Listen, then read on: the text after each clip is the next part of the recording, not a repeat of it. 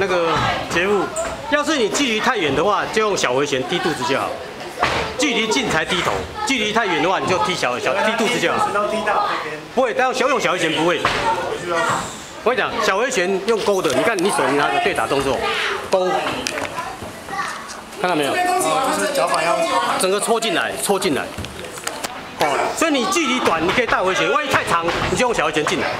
练习的时候，哦，因为你压进才有办法大回旋。哦，万一距离比较远的时候，小回旋就直接勾进来。对哦。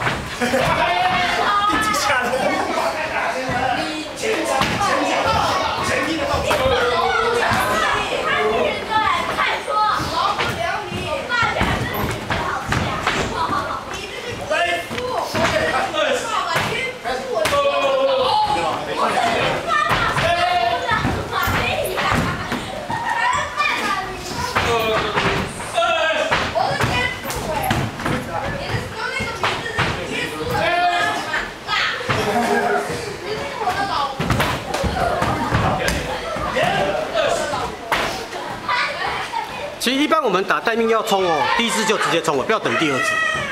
只要一动你就冲进来，等到第二次你就动它没掉。面向机场的转